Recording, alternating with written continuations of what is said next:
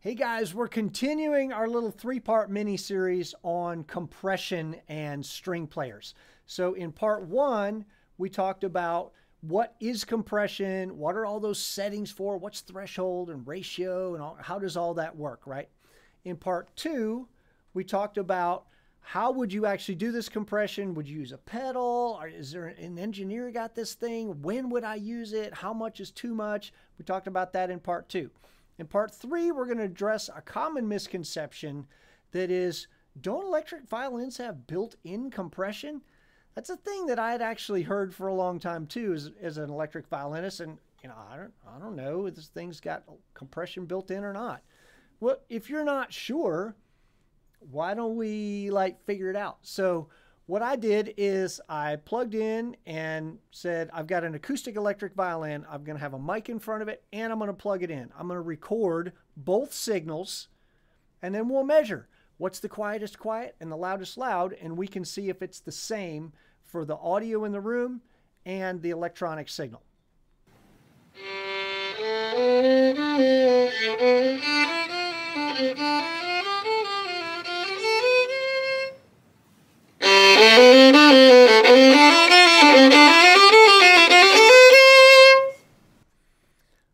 So let's let's take a look. We're going to use a loudness meter. You can see that I've got two tracks here, one over the other.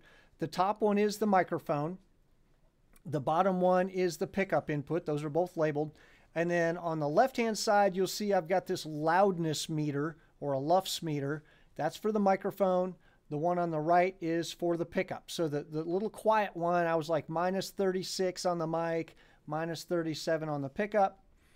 And then during the loud section, we measured minus 21 on the mic and minus 23 on the pickup. It turns out the difference between those two is 14.4 for the mic and 14.5 for the pickup. So a tenth of a dB, my goodness. It's probably, it's the measuring is, is the difference there.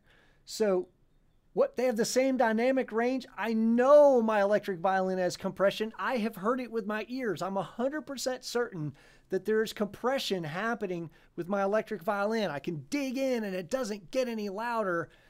It's the violin. It's got to be the violin, right? No. We have just proven that electric violins themselves do not compress audio. They don't. If you play twice as loud, it's going to be twice as loud in a mic and it's going to be twice as loud through the pickup. So if it is compressing or you know you're hearing it in your ears, what's going on? 100% what you're having is a gain staging issue. If the input, that the thing coming out of the violin, we know that's not compressed. What's going into your rig is not compressed. We just proved that. But you know what is coming out of my rig is compressed. We have a gain staging problem.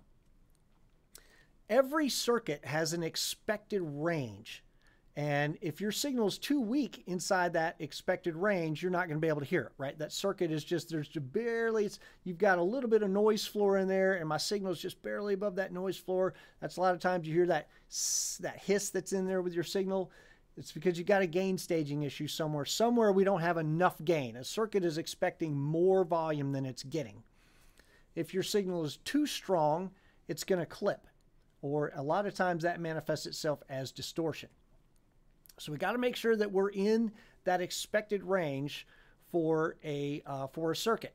And you can see in this uh, diagram here, if I've got my original signal on the top and I'm, I'm sort of quiet, right? I'm doing real good, but then I decide to start playing louder. If that, that say those uh, horizontal lines there are the expected range that that circuit has, if I'm exceeding that range, it's going to clip in one of two ways. It can clip soft clipping, which means you're not going to hear it as distortion, or it could be hard clipping, which means you are going to hear it as distortion. So you're like, I'm pretty sure it's not clipping because I'm not hearing any distortion. Not every circuit treats these things the same way. It's possible that you are clipping somewhere inside your, your rig, but you're not hearing it. So if you think that your rig is compressing somewhere. You thought it was your violin. It's definitely not your violin. We've determined that. Now you've got to go down through your signal path, look at all the pedals that you're plugging into, all the preamps you're plugging into, and find out where you're clipping. Start turning things down until that dynamic range opens back up again.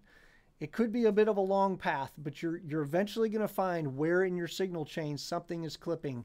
It is 100% it is not the instrument. So if you think something's clipping or you think something is compressing, it probably is, but it's not the instrument. You're going to have to go through and chase your signal path to find out where that is. So be sure to uh, like and subscribe to our channel. Check out a couple other videos that we got going on, and we will see you next time.